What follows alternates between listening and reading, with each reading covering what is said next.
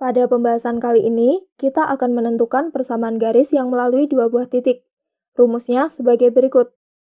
Negatif 2,4 sebagai X1, Y1, 3, negatif 1 sebagai X2, Y2.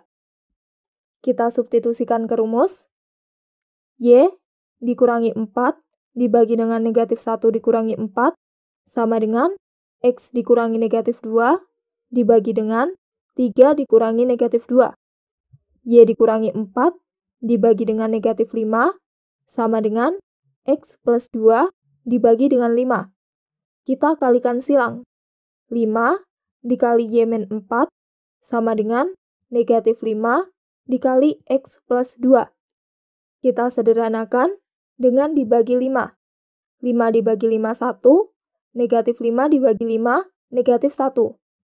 Y dikurangi 4 sama dengan negatif 1 dikali X, negatif X, negatif 1 dikali 2, negatif 2.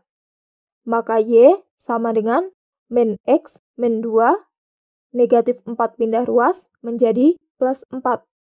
Persamaan linearnya, Y sama dengan min X plus 2. Untuk menggambar grafiknya, pertama kita tentukan titik potong garis dengan sumbu X. Maka, koordinat Y sama dengan 0. Persamaannya, Y sama dengan min X plus 2. Y-nya 0 sama dengan min X plus 2. Maka X sama dengan 2.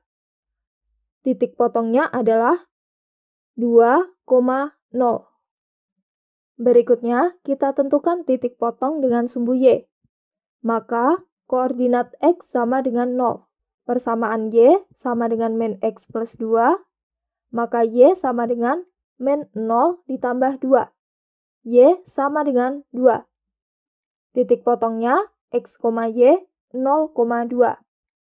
Gambar grafiknya sebagai berikut. Sekian, sampai jumpa di pembahasan berikutnya.